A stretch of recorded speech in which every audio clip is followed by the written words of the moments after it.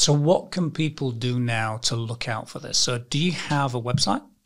We have everything. Okay. Um, yeah. Can you name some of the things so that people yeah, can go on? absolutely. So we are really proud of the space industry is shockingly bad at communicating to the average person. Um, unless you're a space geek or into space, which to be honest, I wasn't. I like Sure, airplanes. I wasn't sure. massively into space. Um, but yeah, the communication to average people has just been really bad. And so we, at Spaceport Cornwall, um, we try and do it very differently. Okay. Um, so yeah, you can check us out online. We have Twitter at Space Cornwall, or I'm on Twitter at Mel's Good Space. We have Instagram, same handles. Um, we're just about to set up TikTok. Um, not me because I can't even bring myself to do that. Um, but our young our young interns are doing that for us. Um, and we have a website which has loads of information. We have a YouTube channel. Um, it's all there. So spaceportcornwall.com is the website. You should be able to find lots of our videos. But we're all over, and we we pop up in very weird and wonderful places. And we were talking outside before we came into the studio. It's imminent, isn't it? You, something could be around the corner within days. Is that what you're saying?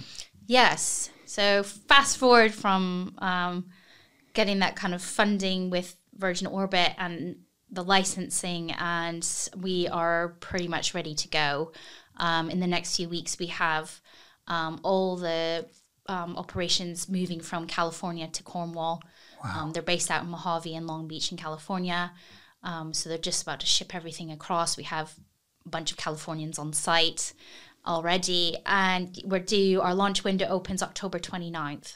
So we have about well, five six weeks now to to get everything ready and to go. Um, which is yeah hugely exciting. But as you get closer, of course, it, it lots of hurdles still keep popping up. So we're busy that, but everybody's motivated to do this. We're really excited for Cornwall to have what is going to be the first ever launch from UK soil happen. Um, so it's historic. But for us, it's about that inspiration piece, inspiring the next generation, inspiring and bringing aspiration to a place like Cornwall. Um, we're working with loads of businesses down here, not space businesses, but businesses that might have an application for space.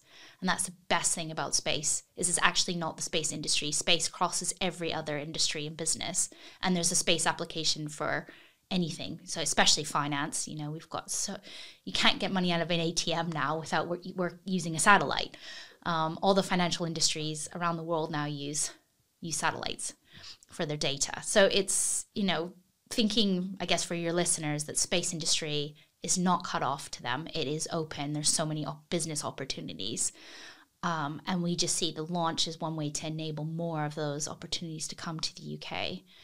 Um, and for us, you know, at the end of the day, this is a commercial project. We have to be revenue generating. Yep. We don't want to rely on government to continue to kind of to support it as we move forward. So we're working really hard on how we make it commercial and sustainable as well. So, do you only have Virgin as a partner, or are the other other, other people? Uh, Virgin are very much our anchor tenant, as we like to call them. Um, but we have announced a partnership with a another launch company called Sierra Space, and their technology is really cool. It takes off vertically, like almost a shuttle, and it goes up to space, delivers people or products, and picks up other things from space and brings them back down. We'll be their landing site.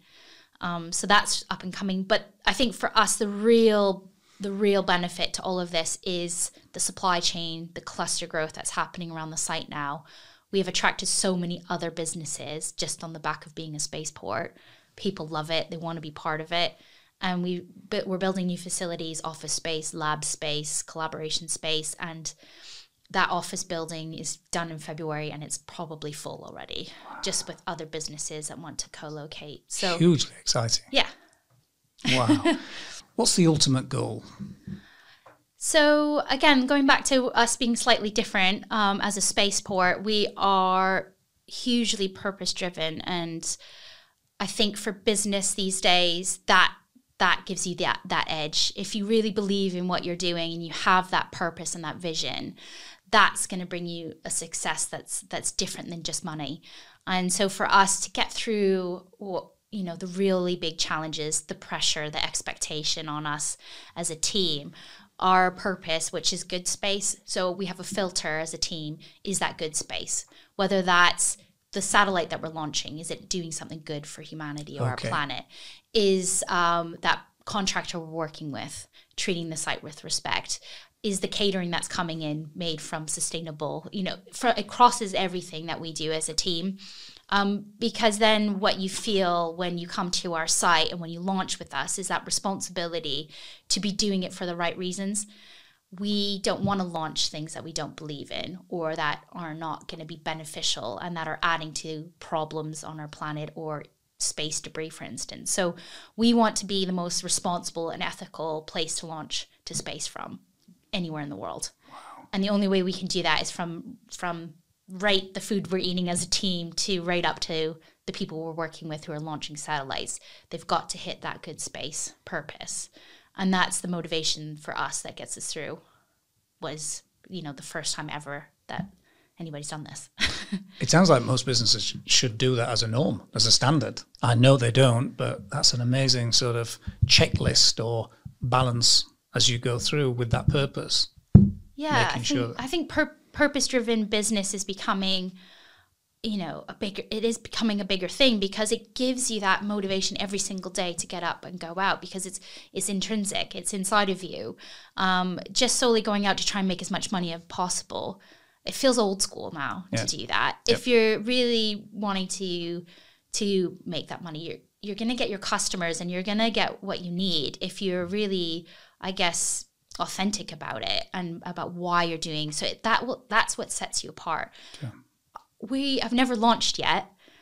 We are up against places that have been doing it for 50 years you know with nasa and spacex. Yet i still get invited to speak alongside them because i'm saying something that sounds so foreign when i'm talking about you know values and Yep, ethics in yep. space so it's set us apart that that purpose and it's really got us noticed and it's opened doors for us and it's actually led us to help you know Im- impact positively in the space industry write regulations that look after our environment and the you know the communities around these spaceports is fundamentally changing the way that the industry is going and i think for any business having a think about you know what is your true purpose what do you feel good about with your business if you can really focus everything around that then that it will just feel it will come through everything that you do and that's what's worked for us.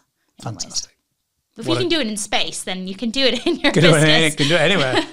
fantastic. Thanks ever so much for coming in today, Oh, Melissa. no, it's been a, yeah, fantastic. Thank you. And